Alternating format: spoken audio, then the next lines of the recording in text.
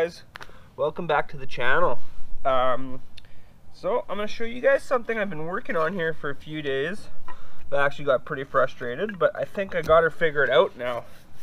Now, one thing I've been kind of working on, because it's definitely a skill I've wanted to to build, was I really wanted to uh, start a fire with a bow drill. Now, um, I definitely learned a lot. I made quite a few mistakes. It's actually going to be my fourth day of trying this. I got a really good ember yesterday, but I kind of wasted it, so I didn't get the fire going.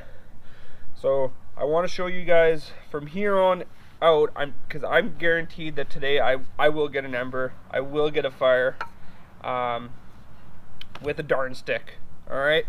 So what you're gonna need is you're gonna need a few things. One, you're gonna want a uh, piece of wood with a nice curve and then you're gonna need uh, some sort of string. I just use paracord because um, that's what I'm.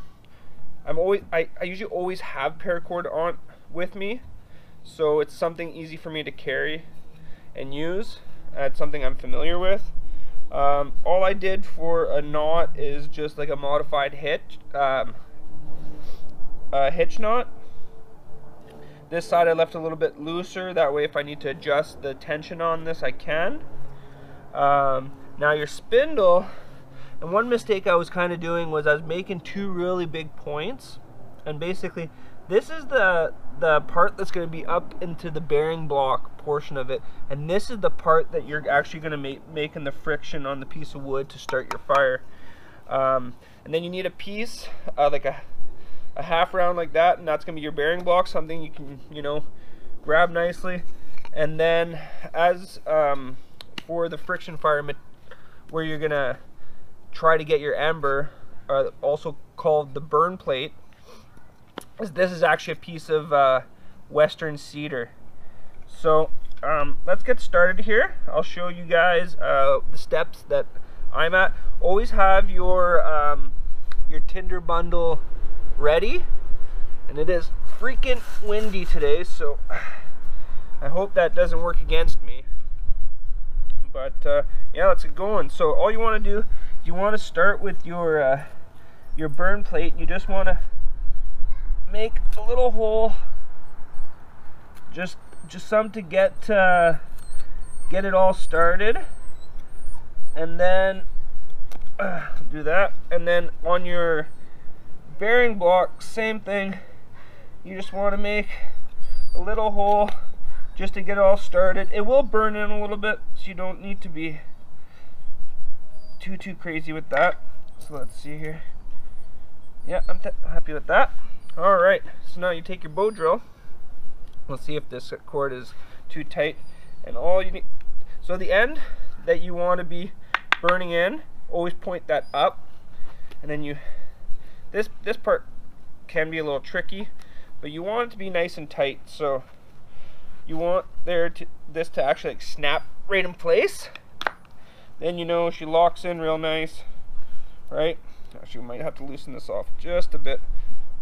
You'll you'll uh, start figuring out how tight you need this. It's really really is a learning curve. I'm still don't really have it all totally figured out but there we go. So you see it just snaps in place. You want there to be nice tension. So roll this right down in my hand and uh, put my one foot. Sometimes, you know what, I'll even use my knee on it, which seems to work pretty good, and then I'll just, uh, actually, let's, oh. Sorry for all the noises around here. I'm actually in my yard today. Uh, and then what we're gonna do is we're gonna start uh, the first burn in. So this is just to so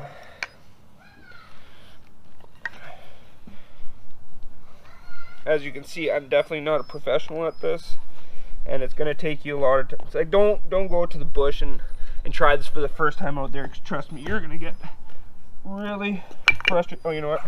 I don't think my hole is deep enough here. So let's. But yeah, if you just go out there without practicing this, you're gonna get really frustrated. Trust me, it is a lot of work. Anybody says doing a friction fire is easy has never done it. Okay. So, uh, there we go.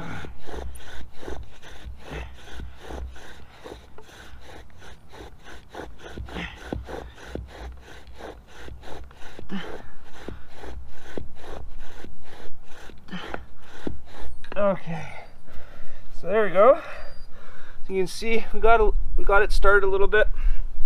So now what we want to do is we want to cut a groove into this. So, because you want somewhere for your ember to go.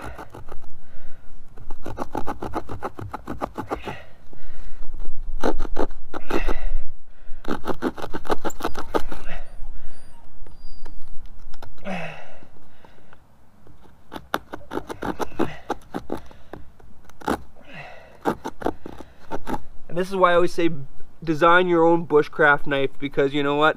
This little saw that I added to this knife is absolutely awesome for this kind of stuff. Same with notch work. Like I said, it's not the best saw, but for this kind of stuff, it's perfect. So, there we go. There's my groove, and you kind of want to go about 20% into the hole.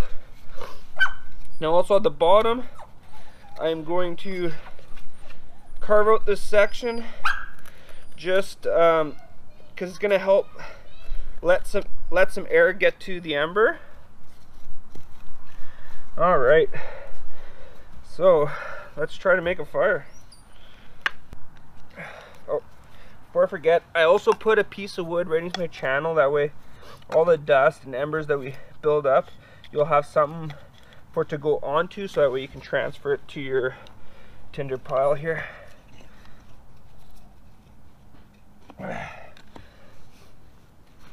All right.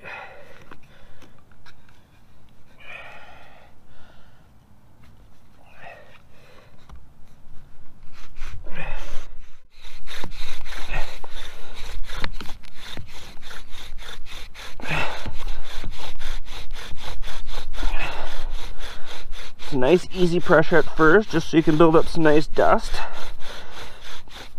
and then once you got some of that good dust going then we will increase the speed and the pressure. Oh as long as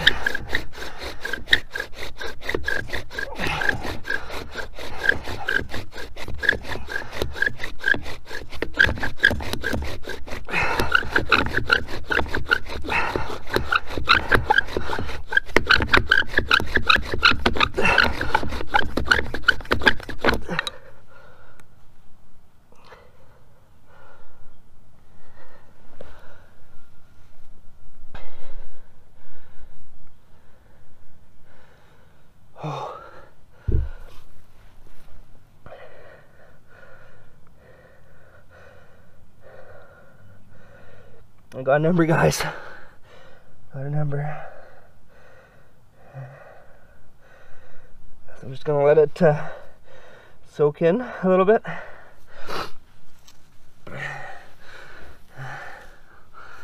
Not wasting this one. Not wasting this one. Okay. There we go. It's a nice ember. Just drop it on here.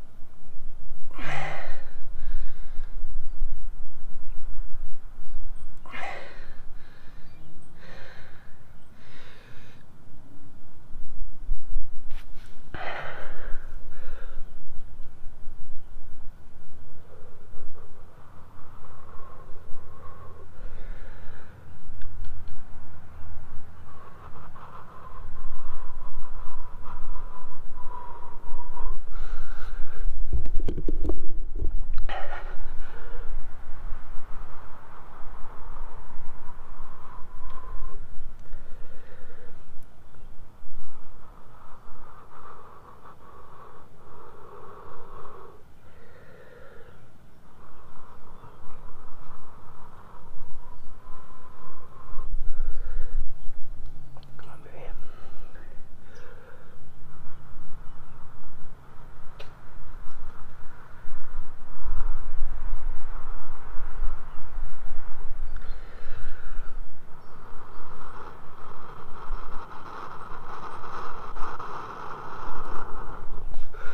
Boom! Got it, got it. Yes!